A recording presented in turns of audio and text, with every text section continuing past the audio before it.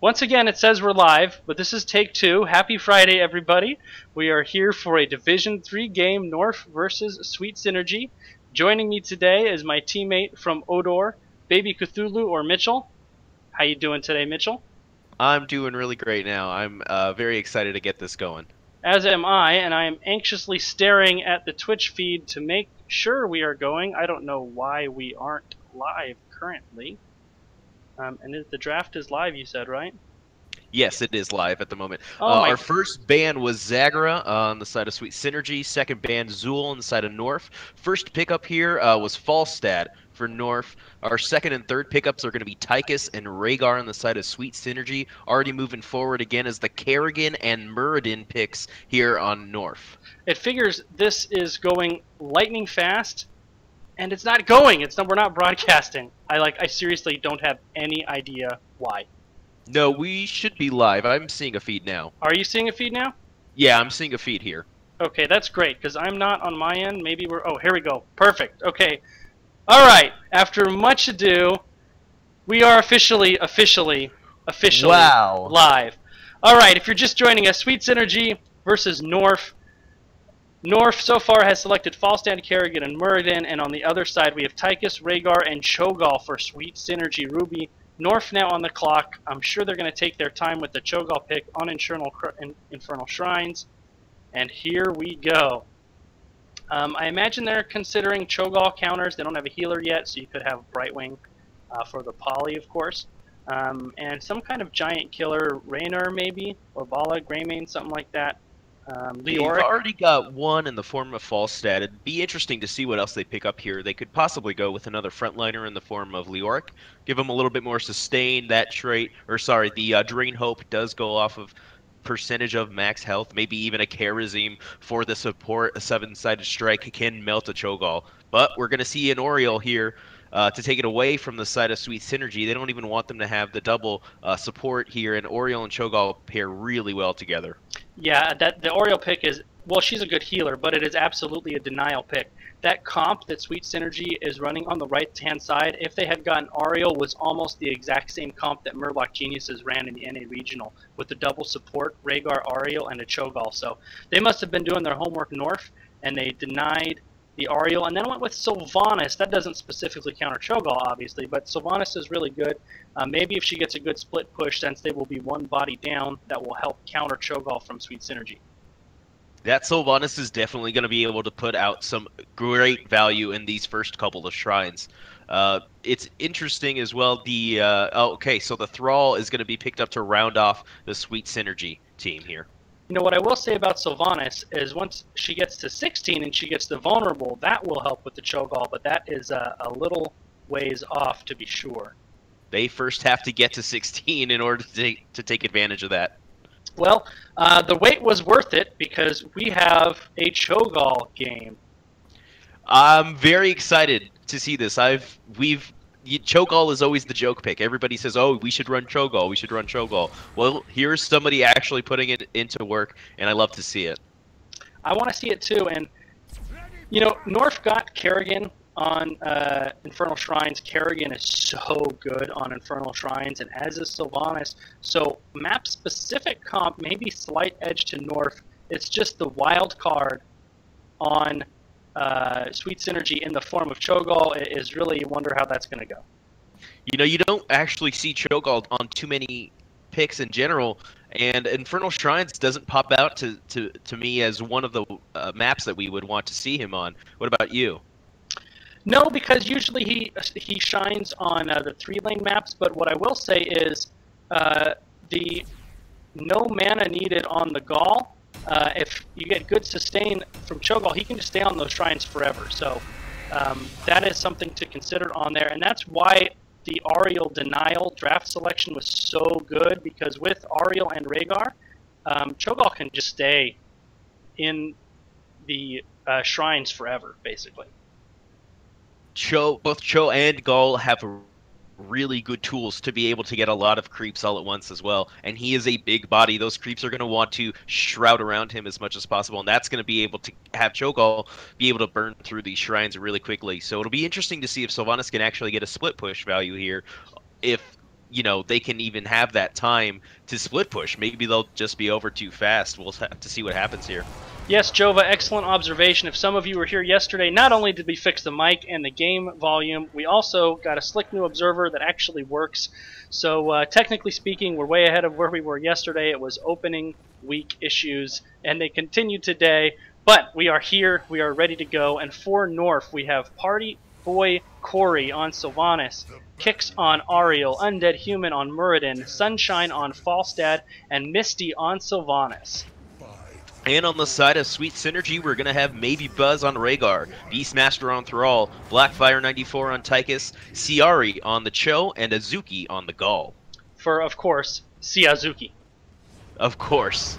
So it looks like they're going to do the Sylvanas cheese in the top lane, and Sweet Synergy is just kind of waiting for them to reveal themselves. They have. Sweet Synergy will start to rotate with Muradin there for the zone, and he just lets them go by. That was a little odd, and Sylvanas is going to drop, no doubt. Sunshine and the rest of North is in retreat. Uh, they will get away. That was a little odd that Muradin was there to zone and didn't dismount anybody. That probably would have prevented that Sylvanas death there. Yeah, I'm surprised to not see him come out as soon as he needed to, but, you know, I don't think that there was much that he could have done to stop that Sylvanas pick. The cheese it does not work against a team like Cho'Gall. Well, they also have the root and the slow, and that's going to be a lot of uh, stoppage for the side of Sweet Synergy. What I expected him to do was just pop out, hit a W, dismount everybody to give his time to give his team time to withdraw, but that's not something he did. So we're going to be splitting into lanes here. It looks like Thrall's going to take the Kerrigan at the top.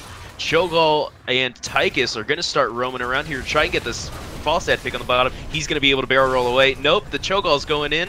Ooh, there we go. The Gall is going to be able to poke him down.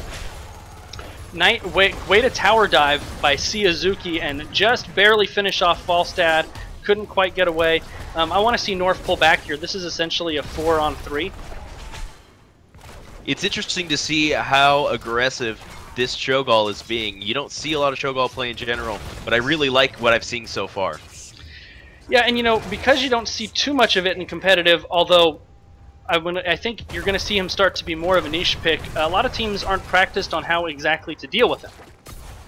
Yeah, that's probably the hardest part here for the side of North. They just need to figure out how to deal with that Cho'Gall. So interesting strategic decision. Sweet Synergy is choosing to jump on the Shine straight away. North is choosing to soak until 4. And it looks like Kerrigan and Thrall will be dueling in the top lane, both getting the split soak. You know, both the characters here that, that both North and Sweet Synergy have down at the Shrines are going to be able to take those down pretty fast. And Thrall is still going to stay in the top in order to lane and get a little bit more push. So we're going to have all five members of North here trying to defend this Shrine. And this is where Kerrigan should shine. Not quite before 10 without her Maelstrom, but Kerrigan is nailed on the Shrine Guardians, and so this is kind of where she needs to be. She wouldn't have been my choice for a split soak.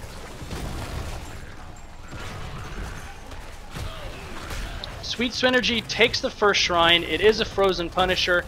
You want to see North get into position to bait that behind the wall. They're too far forward. That Frozen Punisher they just barely get behind the wall, but you do not want Auriel to eat that Frozen Punisher. That should have been Muradin's job there. Yeah, he did end up getting it, but unfortunately he was just a little too close to the Auriel there. Luckily, North is going to be able to burn that shrine down pretty fast here. Yeah, they were a hair late getting behind the wall, but in the end didn't hurt them too, too much, and they were able to get the job done. Sweet Synergy, though, has secured about a half-level lead you know, they left Thrall in the top lane because they knew that they didn't need to have him there in order to capture the shrine. And here's the gank.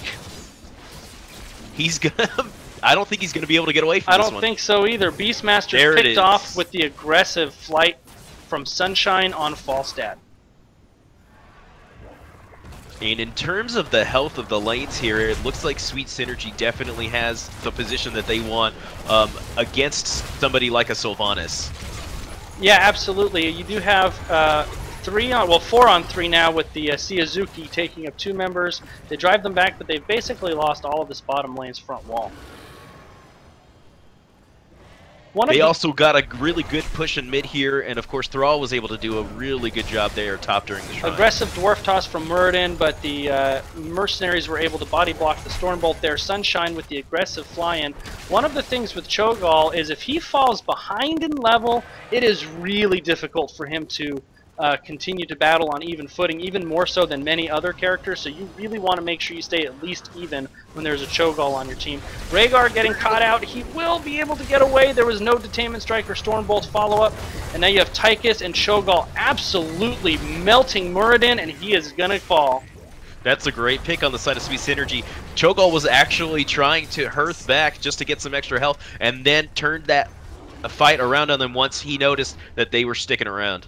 Yeah, it was a good counter engage. Kix decides to rotate the safe way. That was a smart call. Uh, Misty needs to be careful here as Sweet Synergy is here in force. They're going to clear the wave, pick up the experience, and then rotate top.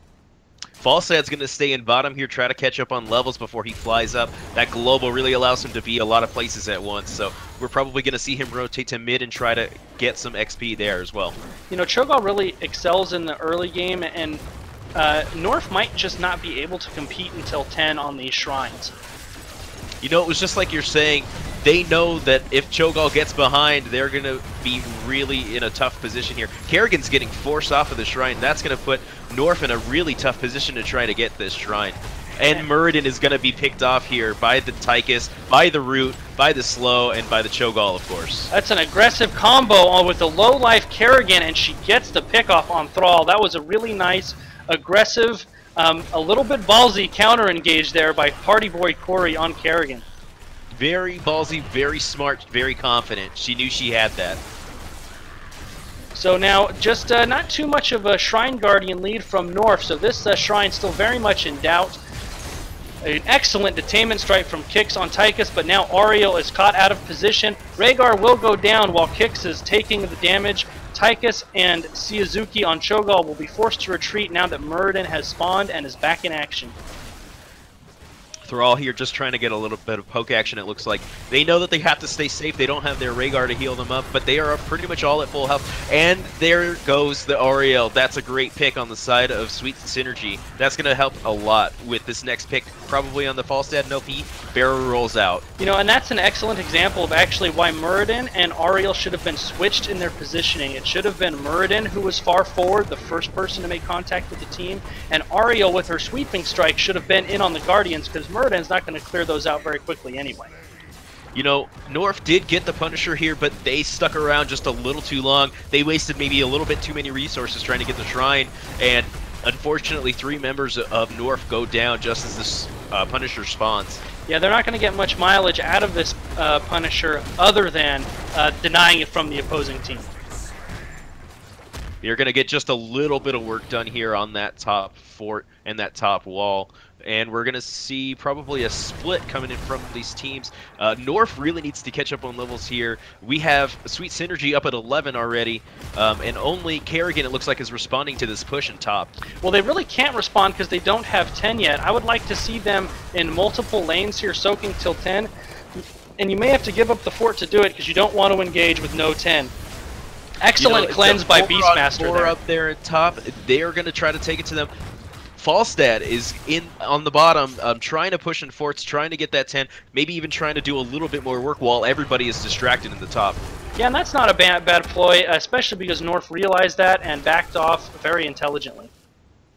Falstad's trying to at least get the fountain that's down there. Luckily, he has minions to back him up and absorb those blows from the fort.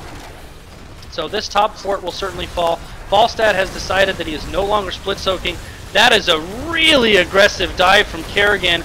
There's the Ancestral on Cho'Gall, the aggressive gust. This is our first full 5 on 5 engage of the game. And Sylvanas and Kerrigan, the first ones to fall. Muradin will probably go next. There were they were so close, North was, to pulling off the Cho'Gall death. The Ancestral was perfectly timed. And what started out as a very close team battle turns into a 4 for nothing probably soon to be five for nothing. Nope, Kix is going to get away. So a four for nothing team fight in favor of Sweet Synergy. I feel like Falstad was just a little late there in the rotation, and you're right. It doesn't really matter because that Ancestral came out on the Cho'Gall just at right, the, the right time. Absolutely. A second later, and Cho'Gall would have died, no doubt. So our Shrine's going to be in the bottom here. We are going to have everybody kind of rotating late. Kerrigan's going to stay up in the top lane to try to clear. And I don't even know if North can contest this down 11 to 13. Um, the talent tier advantage with the Cho'Gall, it, it, would be a very tall order. Kix is caught out of position again. Nice detainment strike to back up Tychus, but I don't think they're going to care diving behind the tower. He barely gets away. He was down to 88 hit points. That was a little scary if you were the Auriel right there. Face checking that shrine was not the best idea. Um, I don't really like this engagement right here from North. They're split and outnumbered. You're not going to accomplish much here. Only bad things will happen until they get their full team. Then the Kerrigan's going to be surprised by the Cho'Gall in the Shroud. She's going to probably go down. Here comes the Sundering, followed up by the uh, Storm Bolts here from Cho'Gall. Crystal Aegis is going to be on the Sylvanas, but it's not going to help her as she goes down. Uh, you know, those are the bad things I was talking about. Three deaths from North, none from Sweet Synergy. Um, you know, when I casted uh, Sweet Synergy last season, two of these um, players were on there. Uh, they're really good, by the way, if you didn't know. Uh, from what we've seen tonight, I think that that is safe to say. The surprise Cho'Gall there did a lot of work for them, and North did not expect that to come out at all. And Kerrigan is similar to Cho'Gall in that it's really hard to play her when you're down in level because she just doesn't have the damage output and explodes so fast when she dives in. Not only that, but the more of a level difference you have with the Cho'Gall, the more powerful he is. And again, you, what you talked about earlier, he has no mana. They can both spam their spells as much as they possibly can. The only limitation for them are cooldowns. Now I'm curious if they're going to just take this all the way or they're going to leave it at 39. Okay, they, they did take it the whole way, and we're having a little bit of a skirmish here in Todd. Rehgar might get caught out. That would be a huge pickoff for North, and it is. That was uh, Rehgar going a little bit too far, maybe overconfidence, or he didn't realize how close North was. So they pick off Rehgar, clean up the Mercs, and now they're able to defend this bottom Punisher with no Rehgar to help them. Sweet Synergy has simply decided without Rehgar, they're going to go back and do other things, and now they're coming up for the engagement. It looks like they want to at least have a little bit of pressure here, maybe push off North from that Punisher, get a little bit more value in the push. Tychus is coming back as well. That camp is also going to come up right behind them and help get a lot of value as well. Yeah, with a nice little skirmish here. There goes the Cho'Gall ultimate. Definitely got some damage down on Muradin, but an, another offensive gust. There's this uh, counter engage Sundering. The Crystal Aegis saves Auriel temporarily. But the Molten Block is also going to save Cho'Gall from that Crystal Aegis as the rest of North falls down. And this might be the end of the game here. I might be a little bit early. I think they're a little too low on life to end, but they are going to try. There's the Ancestral, the and now they're not low on life anymore. It's never too early for Cho'Gall to end the game. Nope, this is absolutely game. It's going to be a 12-minute game here. And a win for Sweet Synergy Ruby in their first game of the season well played by both teams. I think that, that Cho'Gall just threw North for a little bit of a loop, and uh, once they fell behind, they just weren't quite able to come back. You know, Sweet Synergy had a really, really smart draft as well. Their first two pickups were both Tychus and Rehgar. One, Tychus is the counter to Cho'Gall, so they took it away from North without giving it away in the ban phase. And the Rehgar, as we saw with that ancestral healing, does just all too much healing to that Cho'Gall.